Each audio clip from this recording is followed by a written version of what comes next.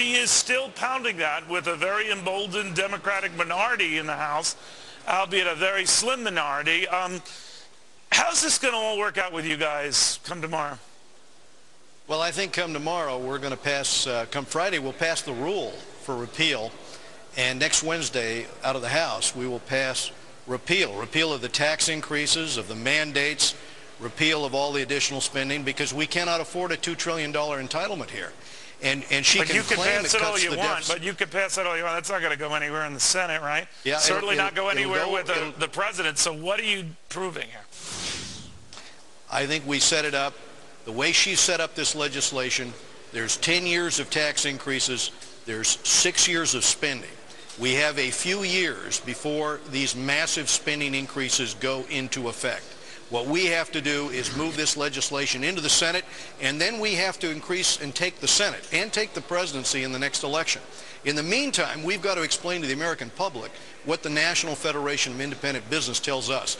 If we don't start the process of repeal, this will cost us 1.7 million jobs. The only, the only employer who's going to be hiring is the IRS, who hires uh, Nancy Pelosi's 17,000 new IRS So when she says under this is going to cost jobs, Congressman, and that the CBO, which you guys quoted all the time with numbers to justify initiatives, et cetera, uh, says that, you know, this is going to be deficit neutral over 10 years, maybe shave 100, 130 billion off the deficit over that time. I know those are hard to ever come by with any party, ever.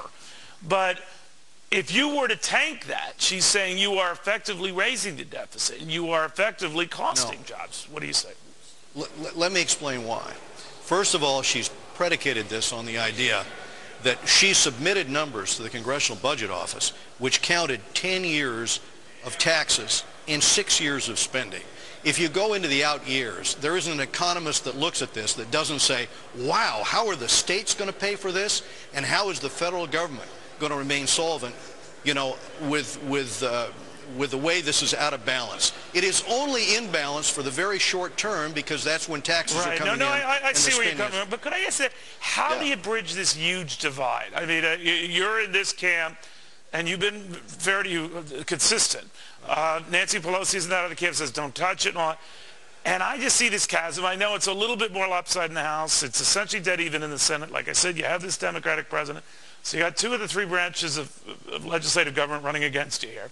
What, what do you do? I mean, how do, is it just a matter of just starving this thing, slowing its growth? I mean, you're not going to kill it. Neil, Neil, we can, we can withhold funding for it. I've got a bill, Dan Lungren and I have legislation that we're going to move next week that uh, takes those 1099s that have to be sent out on every single Right. expenditure over $600. We repeal that. I'm sure the Senate will have to vote for that. Remember, all spending bit bills originate bit. Now, in the there are House. Have dozens of such features, but bit, that's what we're looking at, right? Yeah. and we have the purse strings in the House. Okay. So if we don't fund the new spending, that's where we have the leverage. Okay. Congressman, we'll watch you closely. Congratulations again on your victory and your big roles in this new Congress. Thank you again.